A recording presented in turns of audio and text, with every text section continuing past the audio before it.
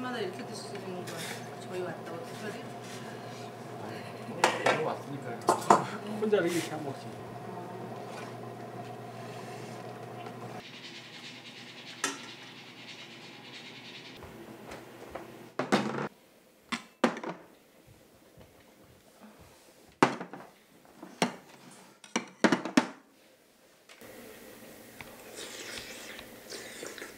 오랜만에 나오네요.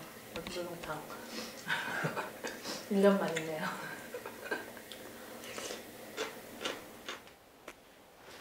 그래서 아침에는 보통 이렇게 차 마시고 기도하시고? 뭐 예불 할때 예불하고 시간 날 때 명상하고 햇빛 쏟아지면 김명상하고 또 시간 나면 차 마시고 과일 먹고 음, 뭐 산에 약초 같은 거 좀 캐러 다니고. 이제 추울 때는 추울 때는 못 한다고 봐야죠. 온종일 햇빛이 쏟아지면 이제 11시부터 햇빛이 쏟아지면 온종일 앉아갖고 해 넘어갈 때까지 앉아서 그냥 그냥 명상하고 이 여기다 좀 많이 집중 좀 하느라고 치료 자가 치료를 지금 해는 상황이라 네, 스님 그 몸 상태 얘기 잠깐만 해주세요.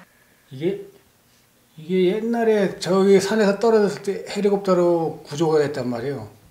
구조가 됐는데 그때 수혈을 헬리콥터에서 수혈을 했는데 수혈이 잘못돼 갖고 그 당시에 그것 때문에 문제가 됐던.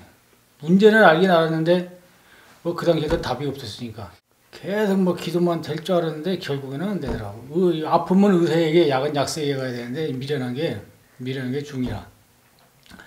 노량산만 이렇게 아침에 새벽 일출 보고 내려와갖고 또 오후에 또 산을 다니고 하루에 두 군데씩 다니고 10년간 이렇게 산을 돌다 보니까 이게 간이 좀 쉬어져야 되는데 쉬지 못한 상태에서 외부적인 충격도 있고 그러니까 관이 괴사가 다 돼갖고 작년 재작년 겨울에 병원 가보니까 두 달밖에 못 산다 그랬어요.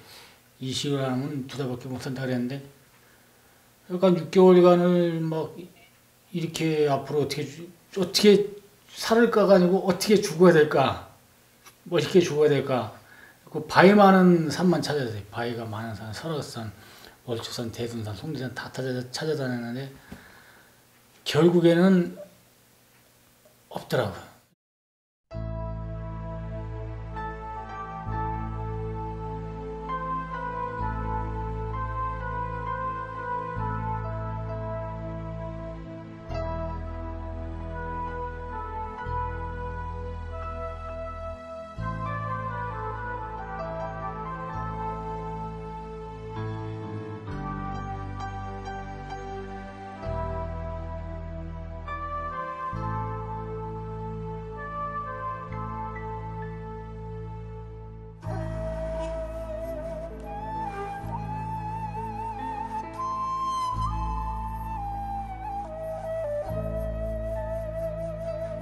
왜 춤을 추게 되셨는지 왜 꼭 산 꼭대기 올라가서 춤을 춰야 되는지. 왜 살려고 살려고 목숨이 붙어 있으니까 살아야 되니까는 내 몸 치유하는데 뭐 아, 약이라는 것은 없으니까는 우리나라 다 다니면서 다 좋은 거를 섭해봤는데 약으로는 약으로는 또는 현대의학으로 치유가 안 되기 때문에 그런 안 보이는 세계의 힘을 빌어갖고 그러기에 치유를 하게 됐죠. 또안 이렇게 앉아있지도 못했는데 전에는 한 1, 2분도 못 앉아 있었습니다. 척추가 불안하니까 앉아 있으면 이렇게 구부러지고 그랬는데 지금 이렇게 뭐 움직이는 거는 진짜 뭐 상상도 못할 일이고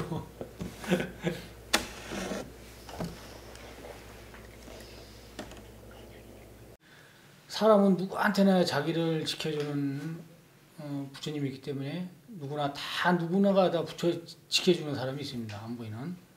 그래갖고 축공에 올리니까 몸이 조금씩 좋아지고 그래갖고 이거는 우리나라를 산을 한번 돌아야겠다 싶어갖고 우리나라 그 명산대천 바위 꼭대기 새벽 일, 새벽에 올라가서 일출 뜰 때 구름 위에서 전국 명산 다니면서 기도 공양을 올린 게 춤공양을 올린 게 그게 계기가 됐죠.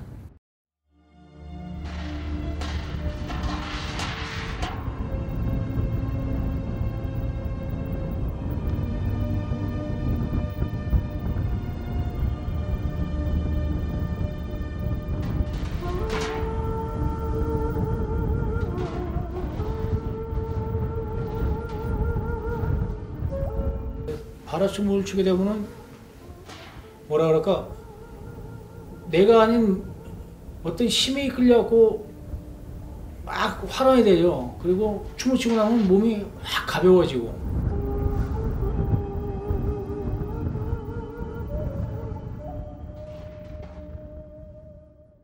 본인에게 있어서 산다는 것은 어떤 거예요?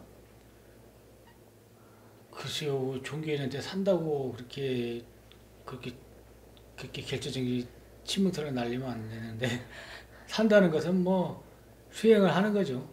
산다는 거는 내 업장 소멸하면서 살고 그냥 산다는 것은 그냥 업장 소멸을 하는 그런 기도로 그런 재미로 삽니다.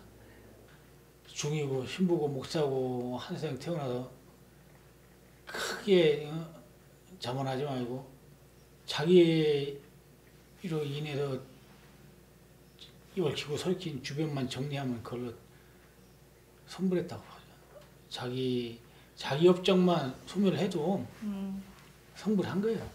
자기 업적만 소멸해도 그게 어려운 거지.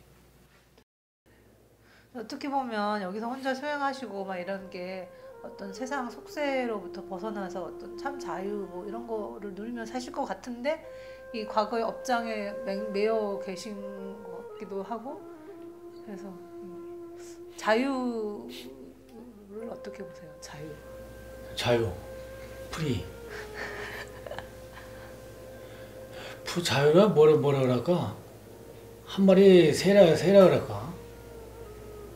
한 마리 허공을 가로지르는 뭐 그런 새 새에 비유한다고 보는데 그러니까 옛날에 이런 말도 있죠. 여복에 저승 갈 때 무얼 가지고 가나? 흙안 좀 지고 갈까? 낙엽만 좀 지고 갈까? 아니면 풀바람길에 실려 갈까? 어려서부터도 나중에는 어떻게 갈까 그런 걸 갖고 질문을 던지고 내 나름대로 개통철학으로 해답도 없고 그랬는데 마지막 자유라는 것은 그냥 편하게 기도 열심히 하고 마지막에 들어가고 바람결에 슥 실려가는 그런 게 참 자유 아닌가.